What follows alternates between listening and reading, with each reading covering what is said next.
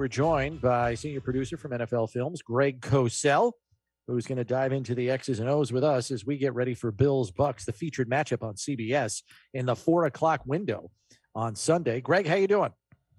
Uh, Chris, I'm doing great. Uh, Mr. Tasker, how are you? I'm doing extremely well. Thanks for coming on with us again. I trust you have some overarching thoughts about what happened in the 40 mile an hour wind game last Monday night and, and how it and how what kind of arrows it points towards what's going to happen in Tampa this weekend. Um, I don't I don't know if they're overarching. Maybe it's pointless, but you know I do have some thoughts. you know, I, I, grew up. You know, not grew up, but I, I lived with uh, my wife and two daughters, so my thoughts are usually not overarching. They're usually more pointless. So, uh, or so you've been told. Yeah, I'm used to that. Right. um, Give us your know, thoughts about that game on Monday night. Yeah, I kept thinking watching the game and this was live because I ended up watching the whole game live because it went by so quickly. I mean, normally I don't make it through the Monday night game, but it ended like a quarter to 11 because it was so fast. Um, I kept thinking to myself, what was plan B for Bill Belichick? Because you know he does not go into a game with one approach. Um, I firmly believe, and I love you your point of view on this. I think that would have been his game plan, even if the weather was 60 and sunny. I think he believed, this is again my opinion, just based on, and, and, hey, I'm not in Bill Belichick's head, but I've spoken to a couple of former coaches who are friends of mine. Um, I think he believed that the Bills could not score on his defense meaningfully because the Bills, as we've discussed, and you know, you, I can only tell you what the tape shows, and you guys are well aware of this. I think he believed with the the Bills' inability to run the ball, and and they tried. They came out with six O linemen you know, two tight ends. They tried to run the ball, but they can't. And with their O line issues in pass protection, um, I think he believed that the Bills could not score and that he would play. He would have played that way regardless of the weather. Yeah, and he was helped yeah. by the weather. You could argue too. Oh, without with, question. With that approach, um, the question I have for you though, Greg, is they're 12 games in. By this point in the season, you are what you are identity wise on offense, yes. defense, special teams. You mentioned it. They're having trouble running the football, but there are also times where protection is not holding up for Josh to make Correct. plays. So a lot of Bills fans are saying, well, just do more of what you did last year. Throw the ball, throw the ball all over the yard and do that and forget about running the football because at times last year the run game seemed like an afterthought. Um, so there's a danger there, though, in being so one dimensional that you allow teams to just tee off on Josh and the pass protection, which isn't sound all the time. So you can't just say, let's just throw it all over the yard. How do you find a balance there in maybe leaning more heavily on the passing game strength without making it so obvious that opponents just say, we're pinning our ears back and we're coming? Well, you know, I'd answer that Chris, by saying this. I think they've tried to do that. And that's one reason I think the passing game, in many respects, has been a much more of a sustaining approach. We've not seen the bigger plays in the pass game this year that we mm-hmm. saw a year ago. Now, I think some defenses are playing them differently as well with more two, two shell, but I think they've tried to develop a more quick rhythm pass game where the ball comes out. The problem with that is it's not a problem necessarily, but teams then recognize that and they sometimes sit on it. And and at some point, you can't let teams sit on your passing game. Uh, Steve, you know this very well. Um, and then you have to try to create through your route concepts and combinations a way to get the ball down the field and that's where the issue of the O line comes into play. So it's at times it's been kind of a catch twenty two, um, and and just to show you how games and seasons can hinge on one play or two plays or three plays. Think about the different conversation we might be having right now if Stefon Diggs caught that ball on Monday night, or if Bass did not miss that field goal by two inches, um, and and then they could kick a field goal at the end of the game to win it. You know, and again, I know you can play the what if game all you want, and and teams that are uh, you, Bills are not a losing team, but losing teams tend to play the what if game. But you know, I think that when you look overview wise, that's the issue with their offense. So here's what happens: every play becomes a referendum on Josh Allen because they can't run it, their pass protection is spotty, which is a great term that you used, Chris, and that's correct. Um, and therefore, Josh has to be great every play, and that's unrealistic. Yeah, and it, it, seems as though that's the conversation you see at point, and you see everything on social media, and, you, and, the fan base comes from every angle possible, of course. Of course. But you do get a sense that there is an, an, an either a, an innate desire by Josh at points, or even uh, when you get look at even as a total package that there really are times, stretches in games where that everybody just expects Josh to heft everything onto his shoulders and just carry the entire show. Um, you get that both from his actions and his play, and also some of the decisions he makes, and also some of the play calling as well. Uh, that yeah, it, and, if Josh and, and can't do it, it's point. not going to get done. Right, and that's a great point. And you know what? That's really hard, Steve. You know how hard that is for a quarterback. I right. mean, there's very few quarterbacks, probably in the history of the game, who you could say could do that week after week after week after week. That's just a really difficult way to play. And, you know, I think that Josh and I think, uh, you know, you guys know I'm on record as believing that he is, in terms of physical gifts, the most physically gifted in the league. But he does have an aggressive mentality. And the issue you do run into with that is he can become reckless at times if you're always asking him to have to be the one to make plays and because he just has right. the same mentality that allows him to be the good Josh Allen at times will lead to some reckless and undisciplined plays and you try to channel that but if there's nothing else to your offense it becomes hard to channel that because you have to ask him to do it all. Yeah. Well, one of the all things. Right, so let go, go ahead, ahead, Steve. Uh, well, I was going to say that with Josh, and we've heard this too. Like down in the red zone, they had first and goal on the six, and there's people clamoring. Like one of the things that they're not doing in the red zone this year, as much as they did a year ago or two, certainly two years ago, running is him. running him. And yeah. I and I have no problem with that. I get it, but here's the thing: if you want to do that, Josh Allen is quickly going to become Cam Newton. Yeah. Um, and that means also that he's going to be out of the league at the end of this contract, right? Yep. So uh, that's not something you want to have your quarterback do too much. Certainly, occasionally, it helps to keep the defense honest and that kind of thing. But if you're going to rely on your quarterback to be your short yardage goal line back, you're going to pay a price eventually. I couldn't agree more. No matter how big your quarterback is, you know, there, there are select situations, and maybe that's what people are responding to. And as you said, Steve, that's fair. You understand that, just like I do. And I'm sure, Chris, you do as well but mm-hmm. you can't build your running game around Josh Allen. Yeah. Right. So let's let's look at this game Sunday specifically. The Bucks, as we know, have had an injury-riddled secondary. I got a lot of thoughts on this one too, Chris. Yeah, their corners. yeah, I'm sure you do. The corners, the corners are getting healthier. The safeties are not. Jordan Whitehead is out for this game. Bruce Arians said that after practice today. So they basically have Antoine Winfield Jr and a couple of fill-in guys like Adams Andrew is filling Adams. in because Mike Edwards is right. an idiot. Yeah, and Ross Cockrell has filled in too. There was the yeah. notion floated that maybe even Richard Sherman could see some time at safety on Sunday. Do you see advantages for the Bills passing game because of the thin nature of those safety positions? Or is their front four so good that you think they'll be able to cover up those deficiencies? Well, let's let's be realistic here. That's all I can do. You know, that's why you guys bring me on, you know, based on my tape study and what I think could happen. Um, it all obviously has to start with protection. But I think what you could see is because there's no other way they can win other than Josh being the really good Josh. Okay. There's no other way they can win on offense. Mm-hmm. So I think you might see 10 personnel, four wide, for this reason. Uh, two reasons. Number one, you know what you're going to get coverage wise. This is a team that does not play a lot of man coverage. They're heavy zone coverage. So you know what you're going to get on the back end. Number two, they do not play dime. They do not play with six defensive backs. They've played only 11 snaps all season with six defensive backs. So unless Todd Bowles, and you never know this, but unless Todd Bowles changes, I would love to see how the Bucks and and maybe Brian Daboll and Sean McDermott would like to see it as well. How the Bucks will react to 10 personnel.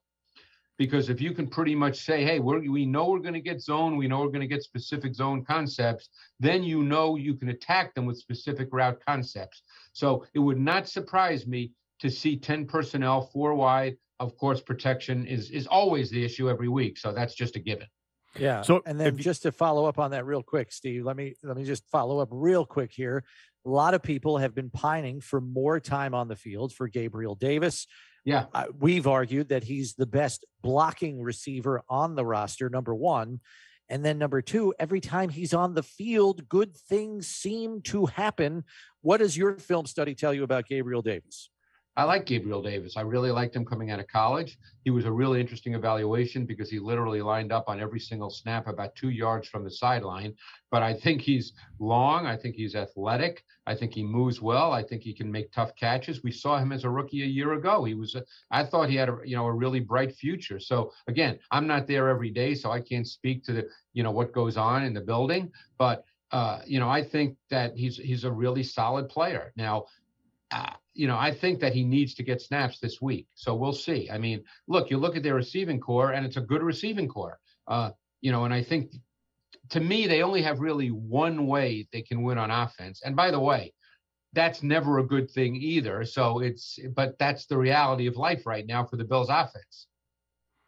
Yeah, and it's it's throwing the football. Am, am I right? Is that what you're getting at? yeah is throwing yeah. the football. It's not it's not just Josh. I mean, it's Josh right. throwing the football to spread it out. And if they go ten personnel, like we're suggesting they might, then it does call into question their ability to protect. The four, the front four Big for Tampa time. Bay is very good. Is very good. Give us a, on the inside. Yeah, give us your rundown. Those, yeah, now that you get into those inside matchups with dealing with Suh and Vea, and Vea is, I mean, he's got feet like a running back. He is a phenomenal athlete for a man that size. He looks like a ballet dancer at times. So, no, eh, look, I'm not suggest what I suggested. I'm not saying that that means they're going to win 30 to 24. I'm just saying I don't know if they have another real option. I think it's a valid option, but protection becomes the issue. And that's why I think you you've seen them this year in every game do a lot of quick game stuff because they just I don't think I think they know. You guys know, Steve, you've been around a long time doing this, you know, playing for a team. Every coach knows the weakness and limitations of specific players and specific units. That's just right. the way it is. So when you go into a game, you know, you, you have an understanding of, hey, here's how I think we can win, but I also know that there'll be some issues, and we hope we can get through those issues. And you know, we can do enough of the good things that we can win. We know they're not going to run the ball because you know what? Nobody runs the ball on the Bucks, and the Bills are not going to. And then right. let's flip it around here, Greg, because Leonard Fournette has suddenly become a dual threat back. Yeah. Uh, we were we were talking to Dave Moore, a former Bills tight end, but predominantly a Tampa Bay Buck tight end. Remember him? Uh, who's on the radio network now, and he was saying that every he was a late arrival last year, as you know, um, and he said every day after practice he would have a 15 to 20 minute throwing session with Tom Brady every single day, and he continued that again this year. And lo and behold, this guy is now a dual threat back, and he is a load. I mean, this is a big man. Um, how do you see the Bills defending a guy like that, knowing the physical backs earlier in the season have had some measure of success against the Bills, and and not to mention the fact they've got a pretty big offensive line. They've got some big bodies up there and a pretty good wide receiving corps. So well, I mean, yes, I was yeah, going to get to that, but yeah, you know, and and I'll answer that this way. I think much of what Fournette does is a function of Brady because one of the things Brady has done his entire career, it's actually the reason he became the starter in 2001 over Bledsoe, is because if you give Brady the six yard check down, Brady takes the six yard check down. He doesn't sit in the pocket and wait for something to develop down the field. So Fournette catches a ton of quick checkdowns where yeah. Brady has eliminated something down the field right away. He's not waiting to see, oh, maybe Evans is going to get there. Uh uh-uh. uh He doesn't wait for that. He'll throw it to Fournette right away. And if it's six yards, he'll take second and four every snap. And if you do the same thing the next snap, he'll get the first down and move on. So Fournette becomes a big player in their pass game, not on intermediate or vertical routes. Every once in a while, he might run a wheel, or but I mean, for the most part, he catches short balls where he's got a little space, and and sometimes the six yarder becomes a twelve yarder, and you know, all of a sudden, you, they move down the field because Brady is a master at that. And Brady is also a master at not getting hit. Um, he has had the most dropbacks, I believe, in the NFL this year and has been hit the fewest times because number one, Right. he wins before the snap. So he knows where to go with the ball. And number two, if he really feels like there's nothing on that play, he will not take a negative play and he will live to play the next play. And as, with this game on the horizon, Bills fans, what gives them the most angst is the fact that they're afraid that Tom Brady won't throw it 20 times. He'll throw it four Or 50. times. Or he throw he'll throw it four times and hand it off to Fournette. Can the does the Bucks running game get given the problems and and the reputation of the Bills defense? What what chances what chance is there that the Bucks just hand it off all day? Let's look at it this way. If you're Bruce Arians and your personal bent is to throw the ball, and you look at the Bills D, you probably see a couple things. You see they don't have a great pass rush. Okay, that's that's what the film shows. You see that they have a backup at corner uh, opposite Levi Wallace. That's what the film shows. That's who's playing. So you could also look at this game from the perspective of Bruce Arians and think, you know what? We're going to drop back 45 times. I mean, th- th- are are they going to cover Evans and Godwin? Um, Breshad Perriman actually was their number three receiver Yeah. last week, which was really Right. interesting, and he played a ton of snaps. Um, but he's a big man who can still run a little bit. Um, so if you look at this defense, I mean, look what they did against Atlanta last week. You know, they obviously felt they could line up a team that can't rush the quarterback and a team that you know is is not great in pass coverage. Um, and they they by choice had him drop back 50 times. That was by choice. You know, that's not because they had to. So are they going to drop back 50 times against the Bills? None of us know that, but you could look at the Bills D and they could think, you know what, we can drop back 40 times, no problem. Yeah. And Right. speaking of that, you know, I looked back at Brady's record in the McDermott era against the Bills. Granted, it was with the Patriots, and the Bills have done a good job of holding him below what his typical per game totals are or Right. percentages are. I mean, he even only in six games in a Patriots uniform in the McDermott era, four touchdowns, five picks. So they've been opportunistic against Brady, but I think the difference here is he's got wall to wall weapons to Correct. use, which he never really had In to New that England. degree in New England. Yeah, I mean, he's got he's got receivers who can win one on one. I mean, he's got Evans, who's obviously terrific. Godwin, now that Perriman is playing, has gone back to the slot.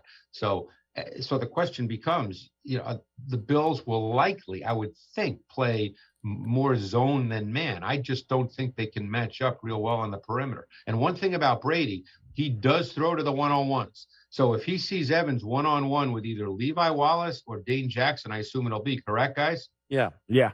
I, he's going to throw. He's going to throw this walls. And we haven't even talked about Gronkowski, who in the last couple of weeks Mhm. has really become a big factor in their pass game. Now that he's gotten healthy, What do you think? uh, I know you're not into prognostication or anything like that. If these teams play their best and to their strengths, what's this game look like? well, I think that Josh would have to have a sensational game. I really do. And again, I'm not saying they're going to get blown out or anything like that. I don't talk like that. You know, I mean, and, and I think that I know Sean McDermott and Leslie, and I guarantee this was not a fun week in Bills land. And and I really don't think they're going to come out and play badly. I mean, I don't know what that means as far as a score. It's not like the Bills are a bad team, but you know, I think that Josh will have to play great. And is he capable of it? Absolutely. And and you know what kind of person he is better than I do. You're around him, you know. But uh, you know, I think that I, I, think that they're going to have to, in some way, slow down this pass game for the for the uh, Bucks. If they can't do that, it's going to be a tough deal. Right. Greg, as always, we thank you for the input, sir. Uh, we'll cross our fingers and toes that uh, the Bills can get back on the winning track this week. They have traded wins for losses each of the last Yeah, eight we- weeks, we- we- so they're we need due. a Bills win. We need a Bills win here, Chris. Come on now. You're there. Come on, get them, get them Yeah. pumped up. Maybe they'll bring you in for the pregame speech. Oh, I don't know if that's a wise move, but uh, I'm sure they've got a better option than that. But but, but thank thanks for thinking so highly of me. Uh, we'll catch up with you next week, Greg. Thanks very Thanks, much. Greg. All right, guys, appreciate it. Thanks.